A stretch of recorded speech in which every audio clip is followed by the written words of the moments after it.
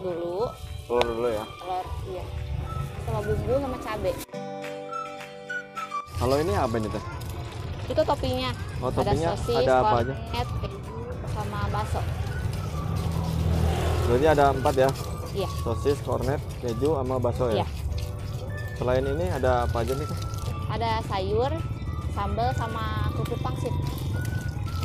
Oh sambal iya ini sambalnya ini, cabai rawit. Ini kerupuk pangsit ya? Iya.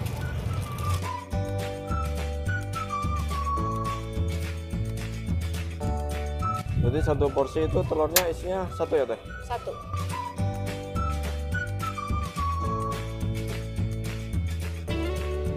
Ini bawang. Bawang yang udah bumbu dihalusin rahasia ya? iya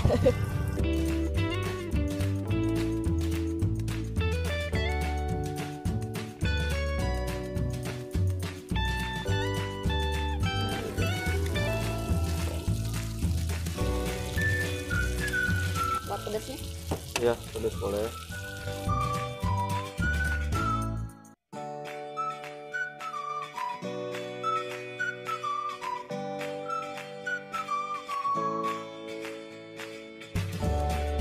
Oh jadi dicampur air gitu ya teh? iya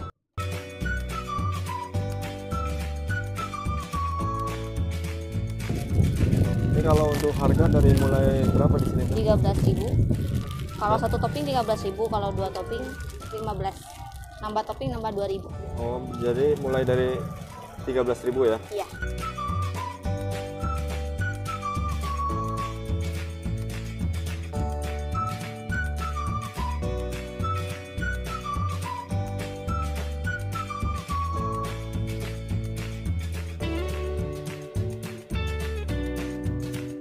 Biasanya berapa lama sih teh untuk masaknya ini?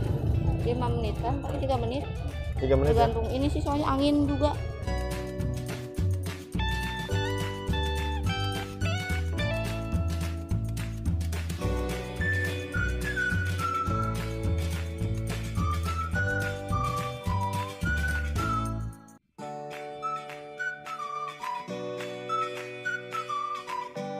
Oh pakai sayur, ini sayurnya teh.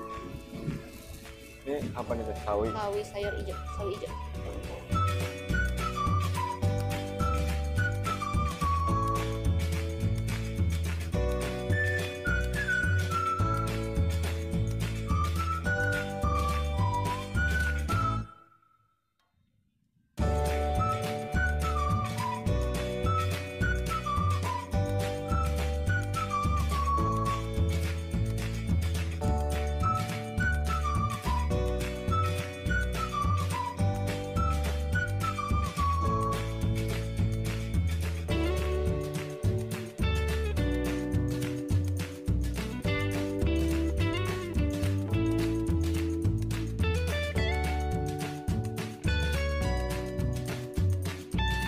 Oh dia udah matang ya?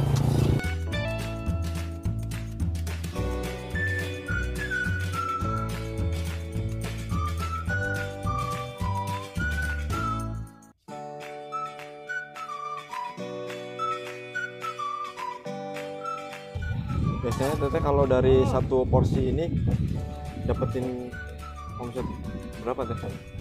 25 persen 25 persen dapat ya? Dari satu porsi ya? iya ya menguntungkan Menguntungkan alhamdulillah ya? Iya. baru saya Baru baru merintis oh, berapa lama teh? dua minggu Ini kalau satu hari dari buka itu biasanya bawa berapa bahan kita?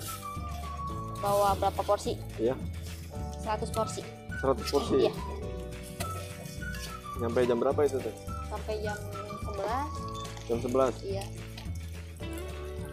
kalau ini mie pedo Mie pedo. Iya. Itu mie pedo itu apa sih? singkatan dari pedas doer Oh, pedas doer. Ini teteh terinspirasi dari mana jualan ini? inspirasinya dari dari mana ya pengen ada aja gitu usaha usaha Apa iseng apa ada referensi gitu? enggak sih emang emangnya bantu-bantu juga bantu suami Oh, bantu suami. Iya. Jadi ini idenya dari suami apa gimana? berdua Oh, berdua Iya. ya. Jadi namanya dari berdua juga ya. iya Ini kalau boleh tahu namanya siapa teh? siapa Namanya? Anggi Teh Anggi. iya Teh Anggi. Ini lokasinya di mana Teh Anggi? pasar malam Cipes Pasar Malam Cipes ya. Iya. Di pas di belakang. belakang Box ya? iya Jadi makanya di sini terus ya Teh. iya ya alhamdulillah ada Udah laku berapa nih sejak buka nih paling ramai gitu? rame 75 porsi nyampe 70 kursi nyampe ya? iya Itu kalau malam minggu apa hari biasa? malam minggu kadang gimana itunya juga sih yang malam minggu 100 target 100 porsi Oh target 100 porsi Iya. ya? Ada keraguannya nggak sih? Ada konflik lahir batin Oh, konflik lahir batin. itu gimana itu? Boleh tahu tuh? Eh, gimana ya kurang dukungan juga pertama Hmm. banyak yang itu